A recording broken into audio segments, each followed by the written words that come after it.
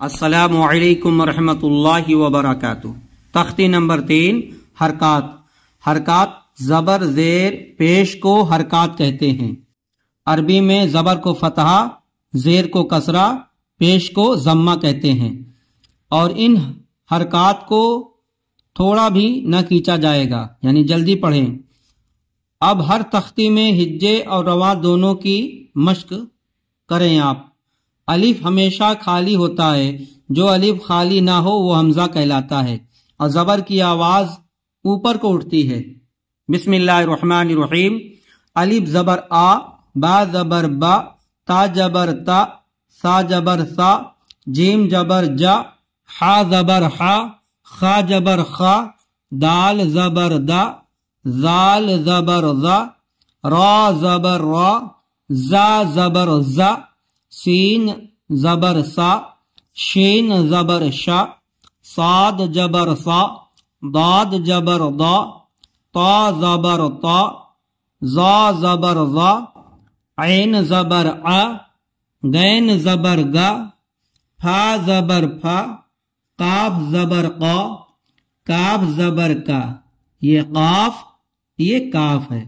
جڑ زبان تالو سے قاف ادا ہوتا ہے۔ اور یہ اس کے بعد ہی سے کاف ادا ہوتا ہے۔ لام زبر لا، میم زبر ما، نون زبر نا، واو زبر وا، ہا زبر ہ، حمزہ زبر آ، یا زبر یا یا زبر یا۔ کھینچنے والے اسے کہتے ہیں علی زبر آ، با زبر با۔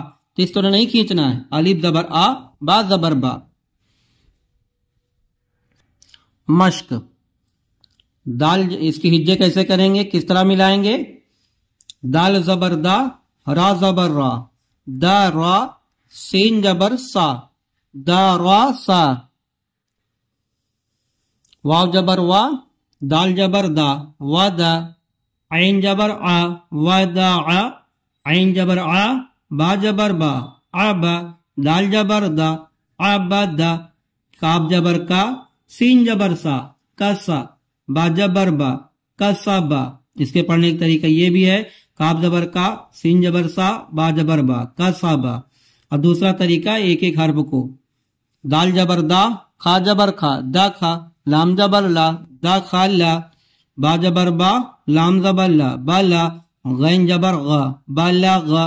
وا جبر وا جیم جبر جا۔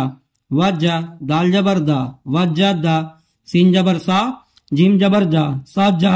دال جبر دا سجاد دا